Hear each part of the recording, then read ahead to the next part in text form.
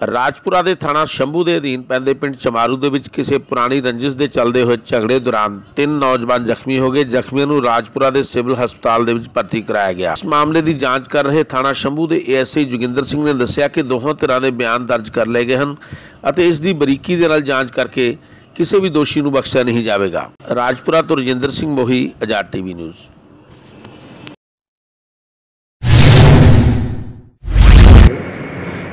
ਝਗੜਾ ਭਾਜੀ 4 ਸਾਲ 5 ਸਾਲ ਪਹਿਲਾਂ ਦੀ ਰੰਜਿਸ਼ ਸੀ ਇਹਨਾਂ ਨਾਲ। ਇਹ ਕੱਢਦੇ ਪਏ ਨੇ ਜੀ ਜਿਹੜੇ ਜੋ ਕਿ ਸਾਡੇ ਨਾਲ। ਐਤਕ ਵੀ ਇਹਨਾਂ ਨੇ ਉਹੀ ਕੱਢੀ ਹੈ ਜੀ। ਪਹਿਲਾਂ ਮੇਰੇ ਚਾਚੇ ਦੇ ਮੁੰਡੇ ਦੇ ਵਾਰ ਕੀਤੇ। ਉਹ ਇਹਨਾਂ ਤੋਂ ਡਰਦਾ ਫੌਰਨ ਭੱਜ ਗਿਆ। ਹੁਣ ਉਹੀ ਵਾਰ ਹੈ ਮੇਰੇ ਤੇ ਕਰ ਰਹੇ ਨੇ ਬਾਰ-ਬਾਰ। ਕੱਲ ਪੰਚਾਇਤ ਇਕੱਠੀ ਹੋਈ ਆ। ਪੰਚਾਇਤ ਇਕੱਠੀ ਹੋਏ ਵੀ ਵਿੱਚ ਵੀ ਇਹਨੇ ਧਮਕੀਆਂ ਦਿੱਤੀਆਂ ਨੇ। ਵੀ ਤੂੰ ਤਾਂ ਕੱਲਾ ਕੱਲਾ ਅਸੀਂ ਪੰਜ ਆ। ਤੈਨੂੰ ਮਾਰ ਕੇ ਛੱਡਣਾ ਅਸੀਂ।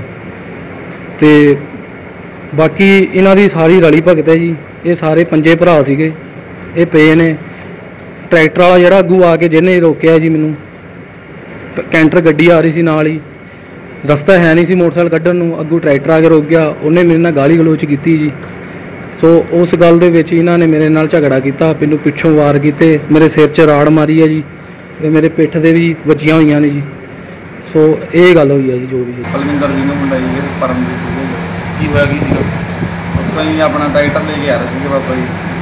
ਤੇ ਪਹਿਲਾਂ ਹੀ ਖੜੇ ਸੀ ਉੱਥੇ ਅਹ ਆਪਣਾ ਤਿੰਨੀ ਦੇ ਸੜਕ ਦੇ ਉੱਤੇ ਸੈਂਟਰ ਦੇ ਮੋਟਰਸਾਈਕਲ ਲਾ ਕੇ ਦਾਰੂ ਪੀ ਲਈ ਸੀ ਇਹਨਾਂ ਨੇ ਤੇ ਜਦੋਂ ਆਇਆ ਜੀ ਟਰੈਕਟਰ ਲੈ ਕੇ ਉਹਨਾਂ ਨੇ ਇਹਨੂੰ ਆਂਦੇ ਹੀ ਗਿਆ ਜੀ ਵੀ ਬਈ ਉਹਨੇ ਹੋਰਨ ਮਾਰਿਆ ਜੀ ਇਹਨੇ ਸਾਈਡ ਤੇ ਸੁਣਿਆ ਨਹੀਂ ਹੈਗਾ। ਤੇ ਉਹਨੇ ਕਿਹਾ ਵੀ ਰੋਕ ਕੇ ਵੀ ਤੁਸੀਂ ਸਾਈਡ ਕਰ ਲਓ ਮੋਟਰਸਾਈਕਲ ਮੈਂ ਲੰਘਣਾ ਜੀ। ਇਹ ਕਹਿੰਦੇ ਓਏ ਹੁੰਦਾ ਕੀ ਆ ਤੂੰ ਓਏ ਕਿਉਂ ਸਾਨੂੰ ਬੋਲਿਆ? ਤੇ ਬਾਕੀ ਇਹਨੇ ਉਹ ਕਹਿੰਦੇ ਅਸੀਂ ਜਾਣ ਨਹੀਂ ਦਿੱਤਾ ਕਿ ਤੁਸੀਂ ਜੋ ਮਰਜ਼ੀ ਕਰ ਲਓ।